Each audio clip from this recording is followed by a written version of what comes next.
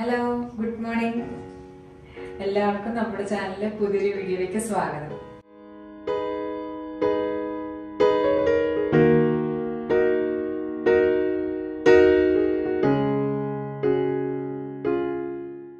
ഇത്രയും ദിവസം ഞങ്ങൾ ഒരുമിച്ചാണ് നമ്മുടെ ചാനലിലേക്ക് സ്വാഗതം എന്ന് പറഞ്ഞത്. അപ്പോൾ ഞങ്ങൾ അവിടുന്ന് വന്നതിന് ശേഷമുള്ള ആദ്യത്തെ ഡെയിൻമേലേക്ക് വീഡിയോ ആണ്. ഒരു മൂടുമില്ല കേട്ടോ കുക്ക് ചെയ്യാനായിട്ട്. പിന്നെ ആ വിഷമവും സങ്കടമൊക്കെ ഫുഡ് ഉണ്ടാക്കി കഴിച്ചൊക്കെ തീർക്കാന്ന് കരുതി. ഞങ്ങൾ വന്നിട്ട് കുറച്ച് ദിവസമായി ക്വാറന്റൈൻ നിയമപരമായി അതായത് നമുക്ക് ഗവൺമെന്റ് അങ്ങനെ പറയുന്നുണ്ടായിരുന്നില്ല. നമ്മൾ അവിടുന്ന് വന്നുകൊണ്ട് ഏഴ് ദിവസം കമ്പൾസറി ക്വാറന്റൈൻ ഉണ്ടായിരുന്നില്ല. പക്ഷെ നമ്മുടെ ഒരു സേഫ്റ്റിക്ക് വേണ്ടിയിട്ടും ബാക്കിയുള്ളവരുടെ സേഫ്റ്റിക്ക് വേണ്ടിയിട്ട് ഞങ്ങൾ ക്വാറന്റൈൻ നോക്കിയിട്ടുണ്ടായിരുന്നു. പുറത്തൊന്നും ഇറങ്ങുന്നുണ്ടായിരുന്നില്ല ഇപ്പോഴാ ഇപ്പൊ പുറത്തിറങ്ങിയിട്ടാണെങ്കിലും ജസ്റ്റ് നമ്മൾ സൂപ്പർ മാർക്കറ്റിൽ പോയി സാധനങ്ങൾ വാങ്ങിച്ചു എന്നുള്ളതല്ലാതെ വേറെ നമ്മൾ പുറത്തേക്കൊന്നും പോയില്ല. അവിടെ പോയിട്ട് വന്നതിന് ശേഷം നമ്മളൊരു പ്രോപ്പർ കുക്കിംഗ് തുടങ്ങിയിട്ട് രണ്ടു മൂന്ന് ദിവസമായിട്ടുള്ളൂ. അപ്പൊ ഞാൻ കരുതിയിരുന്നൊരു മുട്ട സ്റ്റൂവും ഇടിയപ്പവും ഉണ്ടാക്കാന്ന് ഓർത്തുകൊണ്ടായിരിക്കുന്നേ ഞാൻ പറഞ്ഞില്ലേ നമ്മൾ പിരിഞ്ഞു നിൽക്കുന്നതിന്റെ വിഷമം ഭക്ഷണം കഴിച്ചങ്ങ് തീർക്കാന്നാണ് ഞാൻ ഞങ്ങൾ വിചാരിക്കുന്നത് അപ്പൊ ഞാൻ മുട്ട പുഴുങ്ങാൻ ഓൾറെഡി അടുപ്പത്ത് വെച്ചിട്ടുണ്ട്. ഞാൻ എഴുന്നേറ്റ് വന്നേ ഉള്ളൂ അതിന് മുമ്പ് ഞാൻ പയ്യ പയ്യ അരിയുന്ന പരിപാടിയിലേക്ക് കിടന്നു. കുറച്ച് വൈകി. കാരണം നമ്മുടെ ജെറ്റ് ലാഗൊക്കെ ഒന്ന് മാറി അങ്ങ് വരുന്നേ ഉള്ളൂ.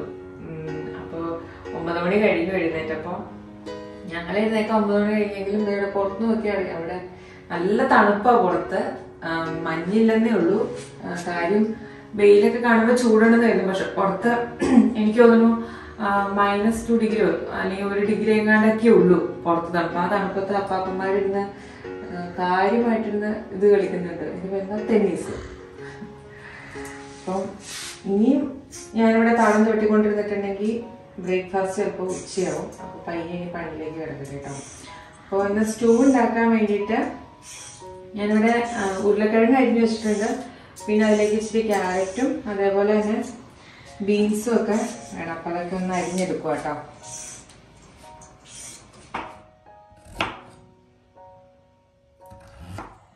മറ്റേ രണ്ടുപേരും കൂടെ ഉണ്ടാക്കി കഴിയുമ്പോൾ പെട്ടെന്ന് പണി കഴിയുന്നത് തന്നെ കുക്ക് ചെയ്യാൻ പണ്ട് തന്നെയായിരുന്നു എന്നാലും.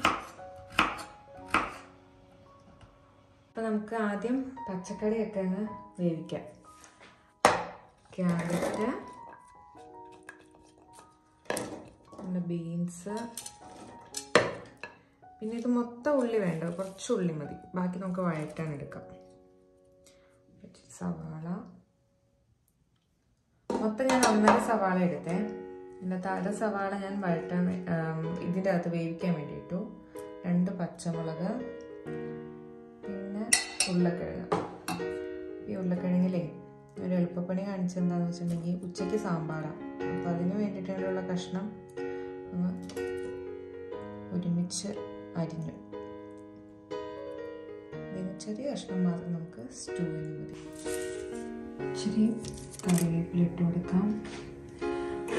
പിന്നെ നമുക്ക് ഉപ്പിട്ട് കൊടുക്കാം. കുറച്ച് കുരുമുളക് കൂടി ഇത്രയാണ് നമ്മൾ പച്ചക്കറി വേവിക്കാനായിട്ട് ചേർക്കുന്നത്. അപ്പോൾ നമ്മൾ പച്ചക്കറി വേവിക്കുന്നത് തേങ്ങാപ്പാലിലാണ്. അപ്പോൾ ഇതിവിടെ ക്യാനിൽ കിട്ടുന്ന തേങ്ങാപ്പാൽ കുറച്ച് വെള്ളം ചേർത്ത് മിക്സ് ചെയ്താണ്. അതായത് രണ്ടാം പാലിലാണ് നമ്മൾ വേവിക്കുന്നത്.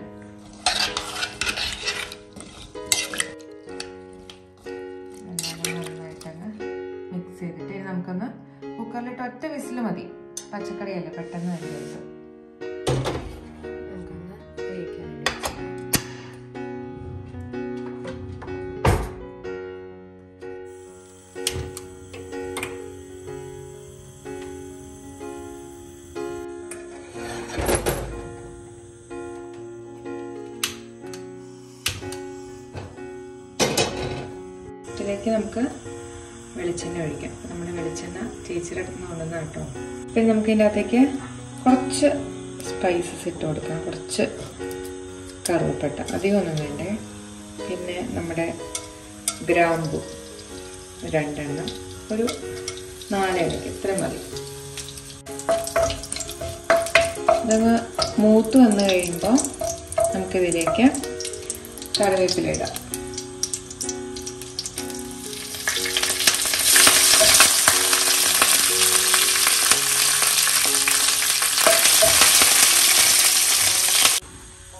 നമുക്ക് ചെറുതായിട്ട് അരിഞ്ഞ ഇഞ്ചിയും വെളുത്തുള്ളിയും ഇട്ട് കൊടുക്കാം.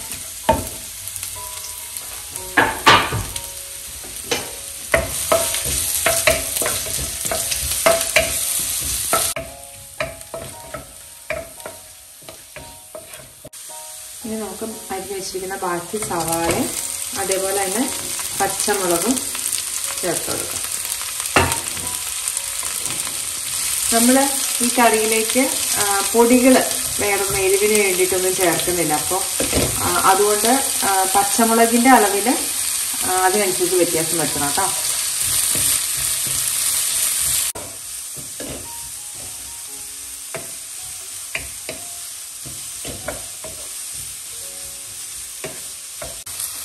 നമ്മുടെ നമ്മുടെ തന്നെ ഒരു എന്താ പറയുക ഒരു സ്പെഷ്യൽ റെസിപ്പി ആയിട്ടുള്ള ചിക്കൻ സ്റ്റൂവിന്റെ റെസിപ്പി നമ്മൾ ഓൾറെഡി ചാനലിൽ അപ്ലോഡ് ചെയ്തിട്ടുണ്ട്. ഒരുപാട് ഒരുപാട് പേരുണ്ടാക്കി നോക്കിയിട്ട് ഒരുപാട് നല്ല റെസ്പോൺസ് ആണ് ഒരു ചിക്കൻ സ്റ്റൂ ആട്ടോ. കുറച്ച് വെറൈറ്റി ആയിട്ടാണ് നമ്മൾ ചിക്കൻ സ്റ്റൂ ഉണ്ടാക്കുന്നത് ഇതിനകത്ത്. അപ്പോൾ ഇതിപ്പോൾ മുട്ട സ്റ്റൂ ഒന്നും കഴിക്കാൻ ഇഷ്ടമില്ലാത്തവരാണെങ്കിൽ ചിക്കൻ സ്റ്റൂ ഒന്നും ഉണ്ടാക്കി നോക്കട്ടോ അതും അടിപൊളിയാണ്. അപ്പോൾ എന്നും ചിക്കൻ സ്റ്റൂ അല്ലേ കാണിക്കുന്ന ഒരു വെറൈറ്റിക്ക് വേണ്ടിയിട്ടാട്ടോ ഇന്ന് മുട്ട സ്റ്റൂ കാണിക്കാമെന്ന് കരുതിയത്.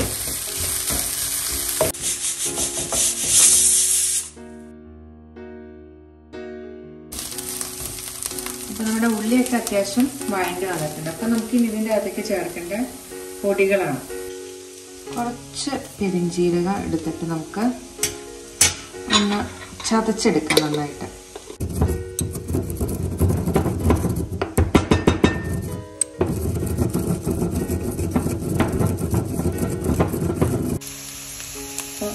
പെരിഞ്ചീരകം ഒന്ന് ചതച്ച് ചേർത്തിട്ടുണ്ട്. അല്ലെങ്കിൽ പെരിഞ്ചീരകത്തിന്റെ പൊടി ചേർത്താലും മതി. കുറച്ച് കുരുമുളക് പൊടി ചേർത്തിട്ടുണ്ട്.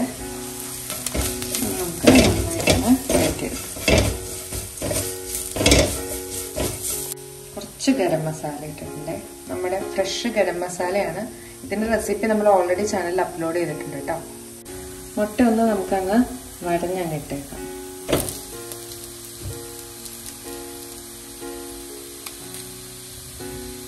വേണമെങ്കിൽ രണ്ടായിട്ടൊക്കെ കീറിയിടാം. പക്ഷെ ഇളക്കുമ്പോൾ ചിലപ്പോൾ പൊടിഞ്ഞു പോവും. നമ്മൾ രണ്ടായിട്ട് കീറിയിട്ടാലേ.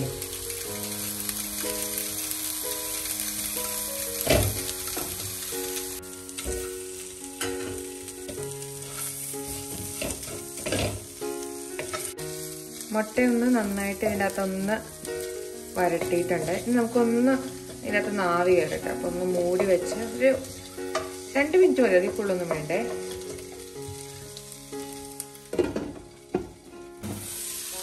ഇനി നമ്മുടെ വേവിച്ച പച്ചക്കറി അതിൽ ചേർത്ത് കൊടുക്കണം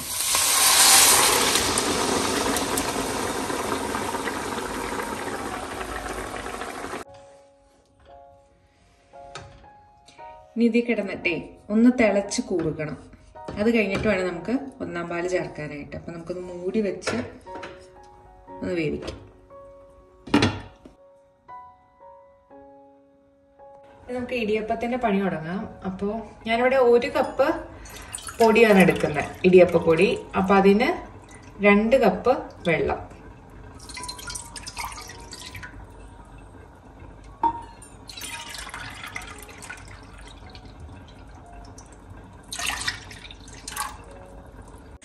ഒന്ന് നമുക്ക് നന്നായിട്ടൊന്ന് തിളച്ച് കിട്ടണം. അപ്പൊ പല രീതിയിൽ നമ്മൾ ഇടിയപ്പം ഉണ്ടാക്കാറുണ്ട്. ഇന്നിപ്പോ ഒരു വ്യത്യസ്തമായിട്ടുള്ള രീതിയിലാണ്. അപ്പം നമുക്ക് കൈകൊണ്ട് കുഴക്കണ്ട ഇങ്ങനെ ഉണ്ടാക്കി കഴിഞ്ഞിട്ടുണ്ടെങ്കിൽ. ഇതിലേക്ക് നമുക്ക് കുറച്ച് ഉപ്പ്. ഇടിയപ്പത്തിന് എത്രമാത്രം ഉപ്പ് വേണോ അതിനനുസരിച്ചുള്ള ഉപ്പ് നമുക്ക് ഈ വെള്ളത്തിലേക്ക് ചേർത്ത് കൊടുക്കാം. നമുക്കിതങ്ങ് മൂടി വെച്ചങ്ങ് തിളപ്പിക്കാം. വെള്ളം നന്നായിട്ട് തിളച്ചിട്ടുണ്ട്. ഇത് നമുക്ക് ഇതിനകത്തേക്ക് പൊടി ഇട്ട് കൊടുക്കാം.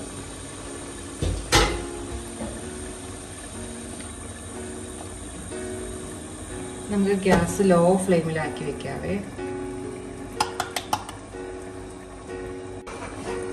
ഞങ്ങൾ ഇളക്കി കൊടുക്കുക. അപ്പോൾ രണ്ട് കപ്പ് വെള്ളത്തിന് ഒരു കപ്പ് ഇടിയപ്പം പൊടി. പൊടി അങ്ങ് നന്നായിട്ടങ്ങ് ഇളക്കി കൊടുക്കാം.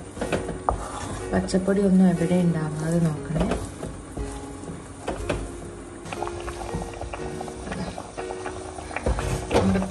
ഏകദേശം ഇതാക്കണം നോൺ സ്റ്റിക്കിൽ നിന്ന് അങ്ങ് വിട്ടുപോരും.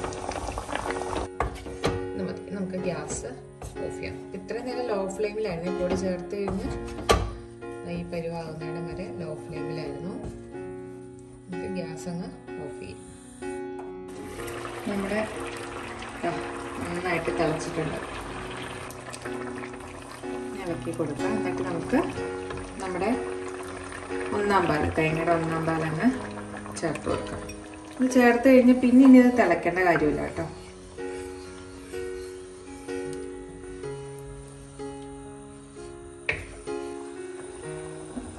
കുറച്ച് ഉപ്പും കൂടെ ചേർത്ത് കൊടുക്കുന്നുണ്ട്. ഉപ്പ് ഇച്ചിരി കുറവാണ് ഇച്ചിരി ഇത്രയും ചേർത്ത് കുറച്ച് കറിവേപ്പില കൂടെ മേലിട്ട് കഴിഞ്ഞാൽ നമ്മുടെ സ്റ്റൂ റെഡിയായി ഒരല്പം നെയ്യ് ചേർക്കും കേട്ടോ. ചൂട് പോകുന്നതിന് മുമ്പ് ചേർക്കണമെങ്കിൽ നെയ്യ് ചേർക്കുമ്പോൾ ഉരുകത്തില്ല ഈ വെള്ളം തിളപ്പിക്കുമ്പോൾ വേണമെങ്കിൽ ചേർക്കാം കേട്ടോ. നെയ്യോ വെളിച്ചെണ്ണ എന്തായാലും കുഴപ്പമില്ല. നന്നായിട്ടങ്ങ് മിക്സ് ചെയ്തിട്ടുണ്ട്. അപ്പോൾ ഏകദേശം ഇതായിട്ടുണ്ടെങ്കിൽ ഇതൊന്ന് തണുക്കണം.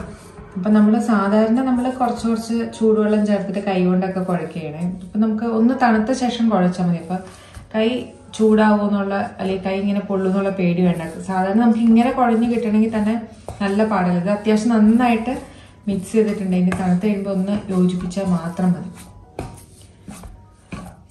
പൊടി തണുക്കണ ഗ്യാപ്പിൽ നമുക്ക് വേഗം എണ്ണ അങ്ങ് തടവാം.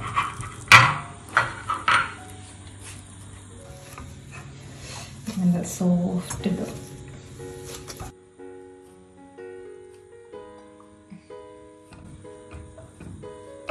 മാവങ്ങ് ഒരുപാട് അങ്ങ് തണുത്ത് പോകുന്നതിന് മുമ്പ് തന്നെ നമുക്കങ്ങ് ചുറ്റിച്ചെടുക്കാം കേട്ടോ.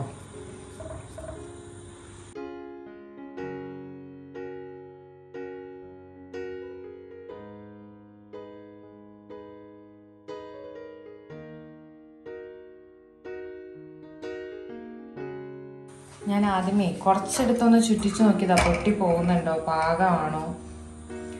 എന്നൊക്കെ അറിയാൻ വേണ്ടിയിട്ട്. അപ്പോൾ ഭയങ്കര സ്മൂത്തായിട്ടങ്ങ് നമ്മുടെ ചില്ലിനങ്ങ് അല്ല അച്ചീനങ്ങ് വീഴുന്നുണ്ട്. അപ്പോൾ ഇനി വേഗം വേഗം നമുക്ക് ബാക്കി അങ്ങ് നിറച്ചു കൊടുക്കാം. കുറച്ച് തേങ്ങ ഇട്ട് കൊടുക്കാവേ.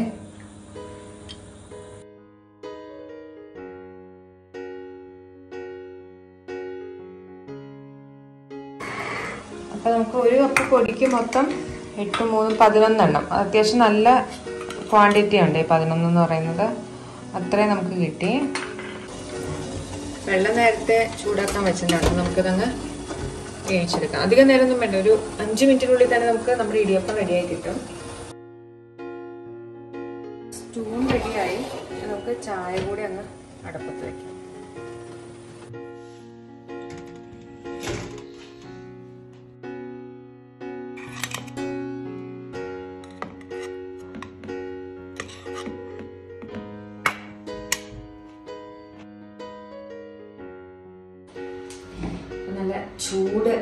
ഇടിയപ്പവും മുട്ട സ്റ്റൂവും കഴിക്കാൻ പോകട്ടോ ആവി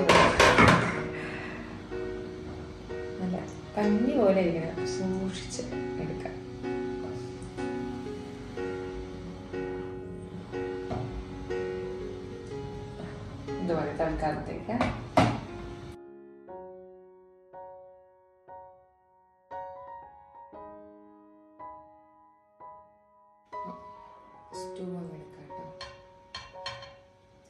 ഇടിയപ്പത്തിന്റെ കൂടെ ആയതുകൊണ്ട് ഇച്ചിരി ചാറ് പരുവത്തിലെടുക്കാൻ നമുക്കിങ്ങനെ മുക്കി കഴിക്കാൻ വേണ്ടിയിട്ട്.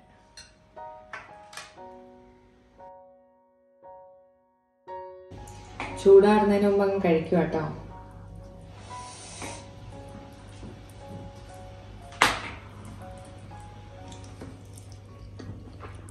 അടിപൊളിയായിരുന്നു ബ്രേക്ക്ഫാസ്റ്റ് ഒക്കെ കഴിച്ച് കഴിഞ്ഞിട്ട് കുറച്ച് നേരം ടി വി ഒക്കെ കണ്ടിരുന്നു. ഇനി പയ്യെ ഉച്ചകൊണ്ട് പരിപാടിയിലേക്ക് കിടക്കാമെന്ന് കരുതി. നമ്മൾ നല്ലൊരു വറുത്തരച്ച സാമ്പാറും അതേപോലെ തന്നെ കോവയ്ക്ക മെഴുക്കുവരട്ടിയാണ് കേട്ടോ ഉണ്ടാക്കുന്നത് അപ്പോൾ നമ്മുടെ സാമ്പാറിന് വേണ്ടിയിട്ടേ ഒരു നാരങ്ങ വലുപ്പത്തിലുള്ള വാളംപുളി എടുത്തിട്ടുണ്ട്. അത് നല്ല ചൂടുവെള്ളത്തിലങ്ങ്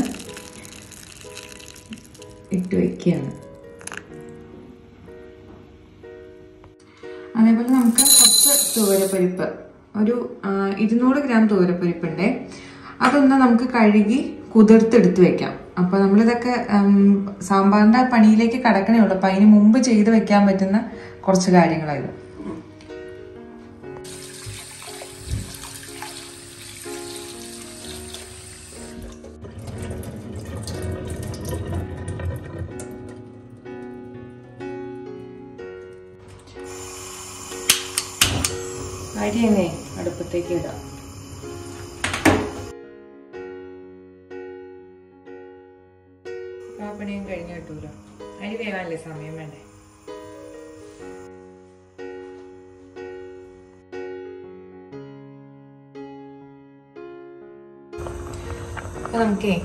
തോരപ്പരിപ്പ് ഞാൻ കഴുകി നന്നായിട്ട് കുതിർത്തതാണ്. അതങ്ങ് നമുക്ക് വേവിക്കാൻ വെക്കാം. ഇതിലേക്ക് നമുക്ക് കുറച്ച് മഞ്ഞൾപ്പൊടി ഇട്ടേക്കാം. അതേപോലെ തന്നെ കുറച്ച് ഉപ്പിടണം. ഒരല്പം വെളിച്ചെണ്ണ. ഇനി കുറച്ച് പരിപ്പ് വേവാൻ ആവശ്യമായിട്ടുള്ള വെള്ളം കൂടെ ഒഴിക്കാം.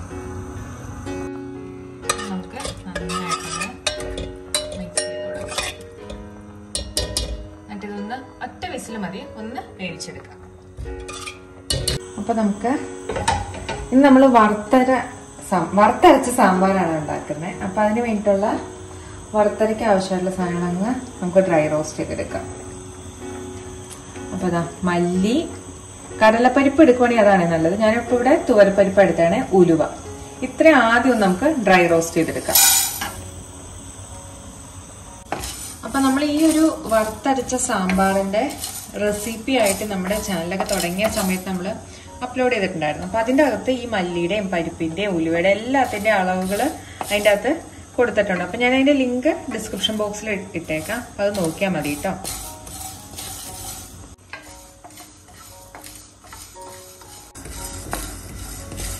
മൂത്ത മുളക് വന്ന് തുടങ്ങി. ഒരു ഇച്ചിരിയോടെ ഒന്ന് മൂക്കട്ടെ. എന്നിട്ട് നമുക്ക് ഗ്യാസ് ഒന്ന് ഓഫ് ചെയ്യാം. അതായത് നന്നായിട്ട് മൂത്ത് വന്നിട്ടുണ്ട്. നമുക്ക് ഈ അടുപ്പത്ത് നമുക്ക് മാറ്റി വയ്ക്കാം എന്നിട്ട് ഇതൊരു പ്ലേറ്റിലേക്ക് മാറ്റാം.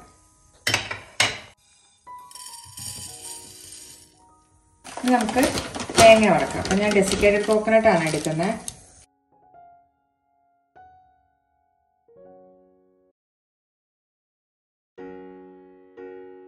ഒരു രണ്ട് മൂന്ന് കറിവേപ്പ് ഇട്ട് കൊടുക്കാം. പിന്നെ വറ്റൽമുളക് ഇട്ട് കൊടുക്കാം. അപ്പം രണ്ട് എരിവുള്ള മുളകും എരിവില്ലാത്ത കാശ്മീരി ചില്ലി ഇട്ട് കൊടുത്തിട്ടുണ്ട്. വേഗം തന്നെ കിടക്കാം പെട്ടെന്ന് മൂത്ത് കിട്ടും. ഓൾറെഡി പാൻ നമ്മുടെ ചൂടായി കിടക്കണയാണ്. അപ്പോൾ നാല് ടേബിൾ സ്പൂണാണ് കേട്ടോ നമ്മൾ തേങ്ങ ഇട്ടേക്കുന്നത്. പിന്നെ നമ്മൾ ആദ്യം ഉലുവയും മല്ലിയും പരിപ്പും ഒക്കെ ഇതിന്റെ ഒപ്പം ഇടാത്തതിന്റെ കാരണം ചിലപ്പോൾ മല്ലിയും പരിപ്പൊക്കെ പെട്ടെന്ന് അങ്ങ് മൂത്തും തേങ്ങ മൂക്കാതെ വരികയും ചെയ്യും.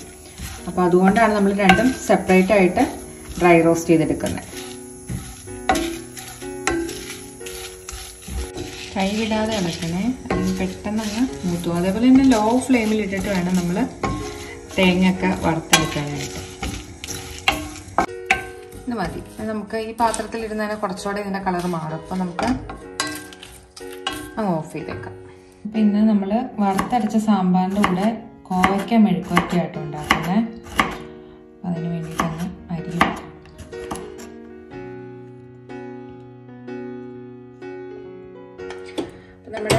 കുക്കറിൽ പ്രഷർ കൊടുക്കണം കേട്ടോ.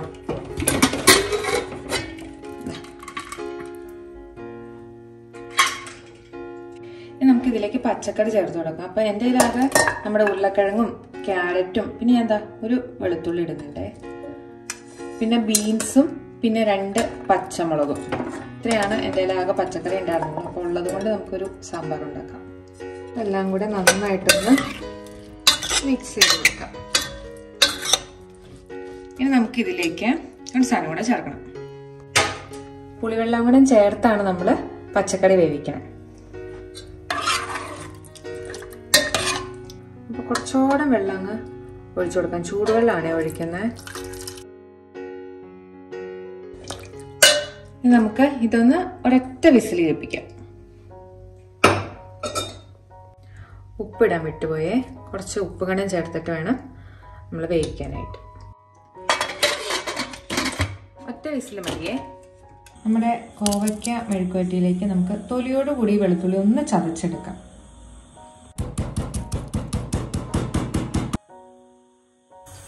ഇപ്പം നമ്മുടെ പച്ചക്കറി കുക്കറിൽ വെന്തു എന്ന ഗ്യാപ്പിൽ നമുക്ക് ആ കോവയ്ക്ക മെഴുക്കുവരട്ടി അങ്ങ് ഉണ്ടാക്കാം. നമുക്ക് കടുകിടാം. ചതച്ച് വെച്ച വെളുത്തുള്ളി അങ്ങോട്ടേക്കാം കറിവേപ്പില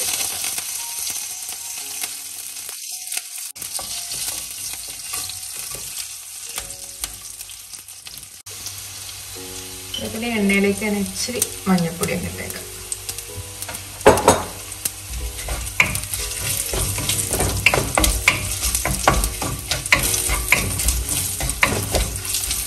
ഇതങ്ങ് മൂത്ത് വന്നിട്ടുണ്ട്. നമുക്കിതിലേക്ക് അരിഞ്ഞു വെച്ചിരിക്കുന്ന ചെറുതായിട്ടാട്ടോ സവാള അരിഞ്ഞേക്കുന്നത്. ചേർത്ത് കൊടുക്കാം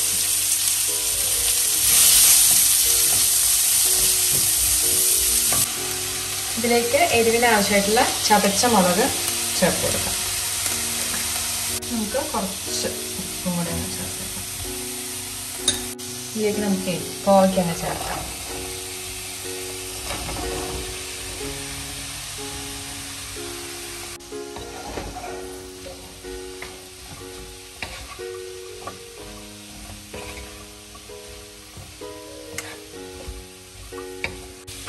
അരച്ചു വെച്ച് വേവിക്കാം. എന്നിട്ട് കുറച്ച് കഴിഞ്ഞിട്ട് നമുക്ക് നോക്കാം. എന്നിട്ട് വേണമെങ്കിൽ ചൂടുവെള്ളം ചേർത്ത് കൊടുത്താൽ മതി. ഞാൻ ഒന്ന് മൂടി വെച്ചൊന്ന് വേവിച്ചേക്കാം കേട്ടോ കുറച്ച് കശുവണ്ടിപ്പരിപ്പ് നമുക്ക് ചൂടുവെള്ളത്തിൽ ഇട്ട് വെക്കാം. ഒന്ന് കുതിർക്കാൻ വേണ്ടിയിട്ട്. നമ്മുടെ കോവയ്ക്ക മെഴുക്കുവരട്ടിക്ക് വേണ്ടിയിട്ടാട്ടോ. ഇതിലേക്ക് നമുക്ക് കുറച്ച് കായത്തിന്റെ പൊടി കൂടെ ചേർക്കണം. അപ്പൊ മുഴുവൻ കായയാണെങ്കിൽ നമ്മൾ ഡ്രൈ റോസ്റ്റ് ചെയ്യാൻ നേരത്ത് ചേർത്തോട്ടോ. നമുക്കിത് നന്നായിട്ട് മഷി പോലെ അരച്ച് കിട്ടണം. നമുക്കൊന്ന് ഇളക്കി കൊടുക്കാം കേട്ടോ.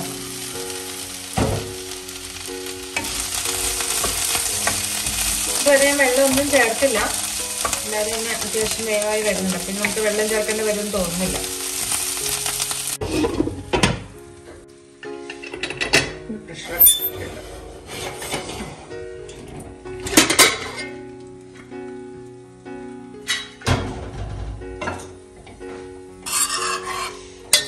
ഇതിലേക്ക് നമുക്ക് നമ്മൾ തക്കാളി ഇതുവരെ ചേർത്ത് കൊടുത്തില്ലല്ലോ. ഒരു ഒരു തക്കാളി കേട്ടോ. ചേർത്ത് കൊടുത്തിട്ടുണ്ട്. നമുക്ക് തുറന്ന് വെച്ചങ്ങ് വേവിക്കാം. തക്കാളിക്ക് അധികം വേവൊന്നുമില്ലോ. തുറന്ന് വെച്ച് വേവിച്ചാൽ മതി. കുറച്ച് വെള്ളം കൂടെ ഒഴിച്ചു കൊടുക്കാം കേട്ടോ. ചൂടുവെള്ളമാണ് ഞാൻ ഒഴിച്ചു കൊടുത്തത്. ഉപ്പ് നോക്കിയപ്പോൾ ഇച്ചിരി ഉപ്പ് കുറവാണ് ഇച്ചിരി ഉപ്പ് അങ്ങ് ഇട്ട് കൊടുക്കാം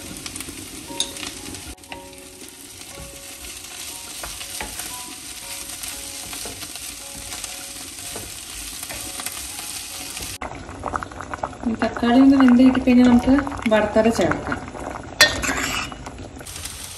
ഒരു മുക്കാലും കോവയ്ക്ക വെന്തോ. നമുക്ക് ആ കപ്പലണ്ടി ഇല്ലേ കുതിർത്ത് വെച്ചത്. അങ്ങനെ ചേർത്ത് കൊടുക്കാം. ഇതിങ്ങനെ ഇട്ട് കഴിയുമ്പോൾ നമുക്ക് ഇങ്ങനെ വെച്ചിട്ട് ഇടയിൽ ഇടയ്ക്ക് ഇങ്ങനെ കഴിക്കാൻ കിട്ടുമ്പോൾ നല്ല ടേസ്റ്റ് ആണ്.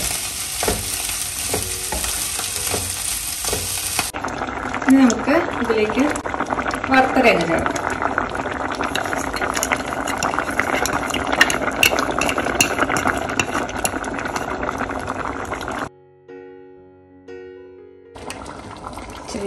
വെള്ളവും കൂടെ കളിക്കുന്ന മിക്സിയിൽ നിന്ന് എടുക്കാം. നമ്മൾ ഇതിനകത്ത് വേറെ സാമ്പാർ കൂടി ഒന്നും ചേർക്കുന്നില്ല. ആ ടേസ്റ്റ് ഒക്കെ നമുക്ക് ഈ വറുത്തരയാണ് തരുന്നത്. അതാ കളർ. സാമ്പാറിന്റെ കളറൊക്കെ അങ്ങ് മാറി നല്ല കളർഫുൾ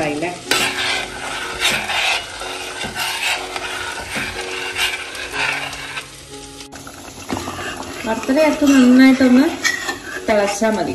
പിന്നെ അതായി നല്ല കുറുകനെയുള്ള ചാറാണ്. ഇനിയിപ്പോ ഇതിന്റെ കൺസിസ്റ്റൻസി കൂടണമെങ്കിൽ ഇച്ചിരി ചൂടുവെള്ളം ഒഴിച്ചാൽ മതി. ഉപ്പും പുളിയൊക്കെ നോക്കിയിട്ടേ.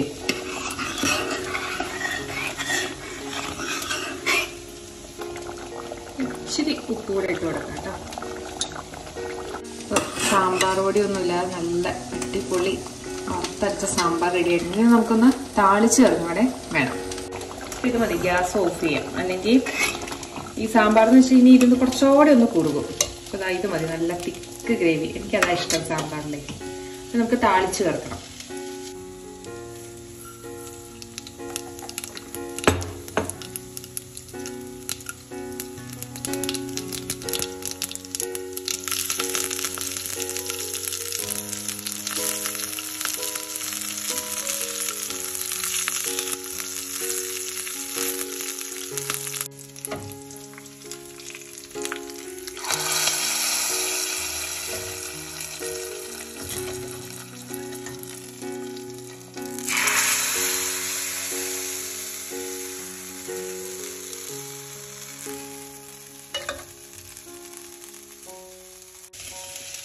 താളിച്ചവനും ചേർക്കുന്നപ്പോൾ നമ്മുടെ നല്ല സാമ്പാർ റെഡി ആയി കഴിഞ്ഞിട്ടുണ്ട് അധികം കഷ്ണങ്ങളൊന്നും ഇല്ലെങ്കിൽ പോലും നല്ല റിച്ച് ആയിട്ടുള്ള സാമ്പാറാണ്.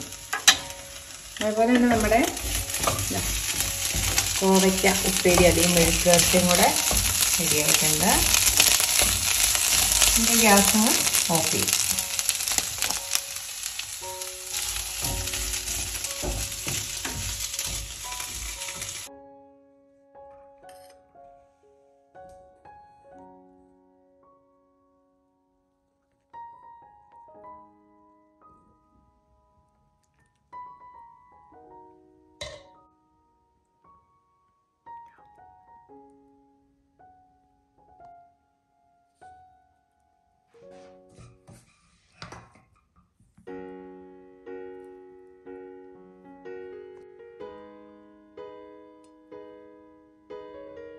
ഒരു അച്ചാറും കൂടെ ഇടാം.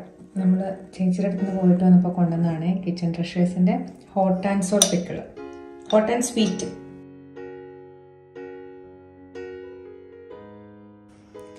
അപ്പം ഞാൻ കുറച്ച് തൈര് കൂടെ എടുത്തിട്ടുണ്ട്. തൈര് എന്റെ ഫേവറേറ്റ് ആണെന്ന് അറിയാമല്ലോ സാമ്പാറിന്റെ കൂടെ തൈര് നല്ല കോമ്പിനേഷനാണ് നല്ല പാലക്കാടൻ മട്ടയും വറുത്തരച്ച സാമ്പാറും നമ്മുടെ കോവയ്ക്ക മെഴുക്ക് വരട്ടി അടിപൊളി കോംബോയാണേ ട്രൈ ചെയ്ത് നോക്കട്ടോ.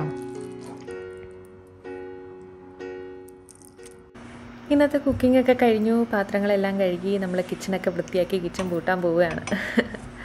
അപ്പോൾ ഇതായിരുന്നു ഇന്നത്തെ വിശേഷങ്ങൾ യാത്രയൊക്കെ വളരെ സുഖകരമായിരുന്നു. ഒരുപാട് പേര് നമ്മുടെ അടുത്ത് കമന്റിലൂടെ അല്ലാതെയൊക്കെ അന്വേഷിച്ച് നിങ്ങൾ സേഫായിട്ടിരിക്കും എത്തിയില്ലേ എന്നൊക്കെ നിങ്ങൾ സേഫായിട്ടൊക്കെ എത്തി. പിന്നെ നമ്മൾ വീണ്ടും നമ്മുടെ പഴയ ഒരു ജീവിതത്തിലേക്ക് തന്നെ തിരിച്ചെത്തിയിരിക്കുകയാണ്. കുറേ നല്ല ഓർമ്മകൾ സമ്മാനിച്ച ഒരു ഇയർ എൻഡിങ് ആയിരുന്നു നമ്മുടെ കഴിഞ്ഞ ഡിസംബർ അപ്പോൾ ഈ മരങ്ങളൊക്കെ ഇല കൊഴിഞ്ഞ് പുതിയൊരു വസന്തത്തിന് വേണ്ടി കാത്തിരിക്കുന്ന പോലെ തന്നെ വീണ്ടും ഞങ്ങൾക്ക് കാണാൻ പറ്റുന്നുള്ള പ്രതീക്ഷയിൽ ഞാനും പ്രതീക്ഷയോടുകൂടി ഇരിക്കുകയാണ്. ഞങ്ങളും പ്രതീക്ഷയോടുകൂടി ഇരിക്കുകയാണ്. അപ്പോൾ നിങ്ങളുടെയൊക്കെ സപ്പോർട്ട് ഇനിയും ഉണ്ടാവണം. നമുക്ക് പിന്നീട് കാണാം കേട്ടോ. വീഡിയോസ് ഇഷ്ടമായാൽ ലൈക്ക് ചെയ്യാനും അതേപോലെ തന്നെ അഭിപ്രായങ്ങൾ കമന്റ് ചെയ്യാനും മറക്കരുത്. ഇഷ്ടപ്പെട്ടാൽ മാത്രം ഒന്ന് സബ്സ്ക്രൈബും ചെയ്തേക്കുക അപ്പോൾ നമുക്ക് പുതിയൊരു വീഡിയോ ആയിട്ട് കാണാം. ബൈ